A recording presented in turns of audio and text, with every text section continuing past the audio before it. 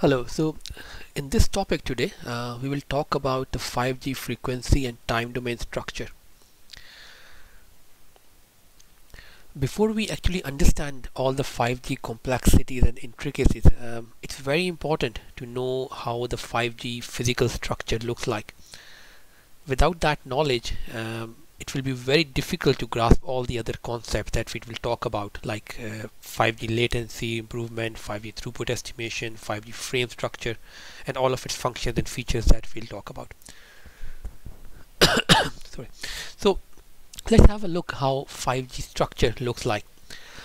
Let's see this is one uh, frame grid. So I can say this is time domain while over here we have the frequency domain so uh, in time domain we have symbols.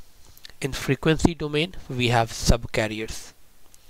So if I say one symbol uh, into one subcarrier which is this one small square we it is known as resource element. That is the smallest unit uh, that we can talk about in 5G. Now when we have to assign something to the user we cannot assign a single resource element because that is just that will just carry too little data. So it will be irrelevant for a single user. So the, the smallest amount of uh, allocation that we do is called a resource block. A resource block is actually a, a group of 12 subcarriers. As you see here these 12 subcarriers if they are grouped together we can call them one resource block in LTE, a resource block was 12 subcarriers into 7 symbols. But in 5G, there is no limitation on, on the symbols, on the time domain.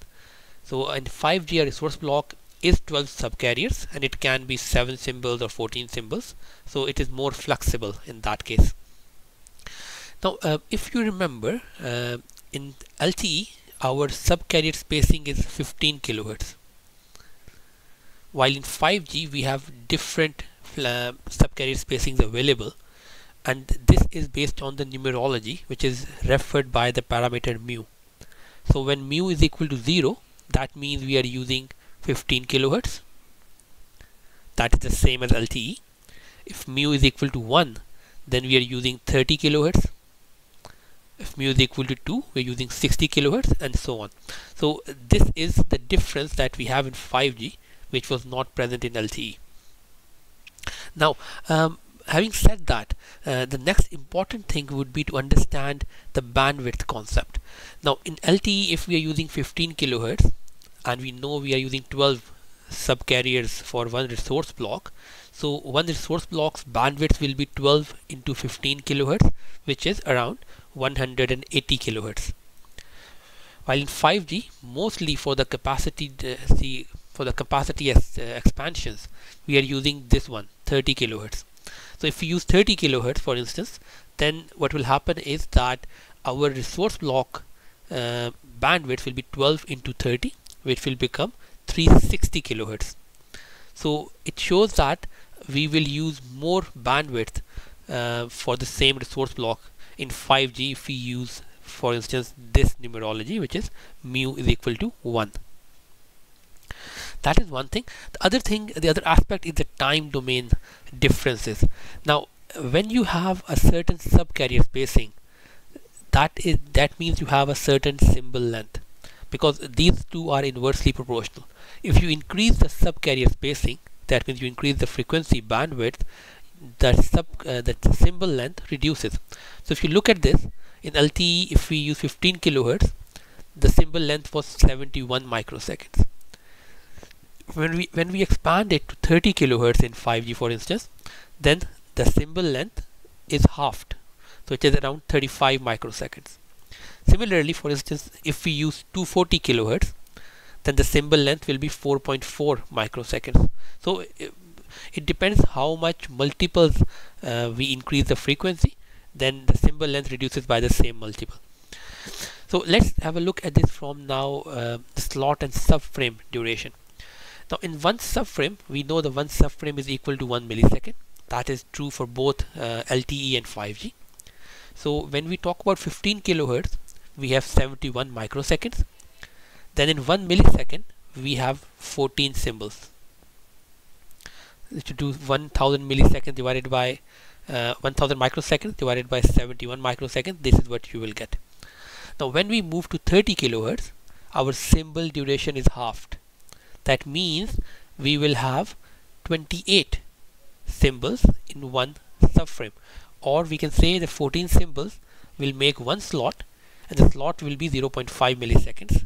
In short we will have two slots in one subframe.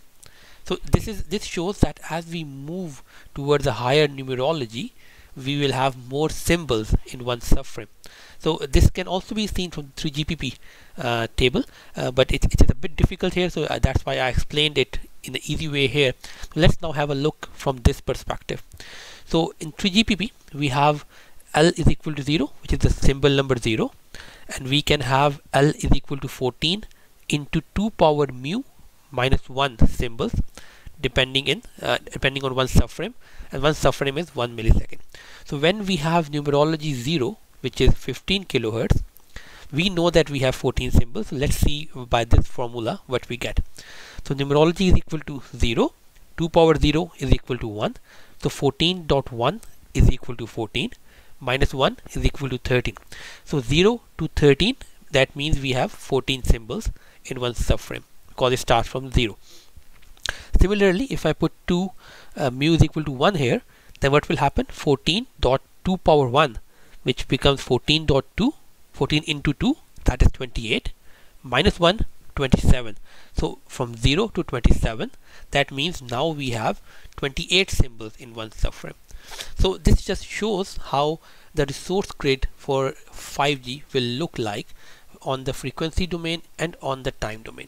So just to recap quickly so when we move from 15 kilohertz to 30 kilohertz we take more bandwidth on this uh, on the resource block on the frequency domain but we reduce the number of symbols uh, the number of symbol time and thus we increase the number of symbols. So uh, so in short if we have uh, a fixed bandwidth and we move to from 15 kilohertz to 30 kilohertz our subcarriers will reduce but our symbols will increase. So overall the resource elements will still remain the same so I, I hope uh, this this is a, a, good understanding. So let's take an example. For instance if we have 20 megahertz LTE will use 15 kilohertz so we will have 100 RBs but because 5G will let's say use 30 kilohertz so we will only have 50 resource blocks. So the resource blocks have halved. However because we will have double the number of symbols so total resource elements will still remain the somewhat similar. We'll have a look later on how uh, bandwidth efficiency works in 5G but this is uh, the overall resource grid how it looks like and how to interpret it. I hope that this is clear now.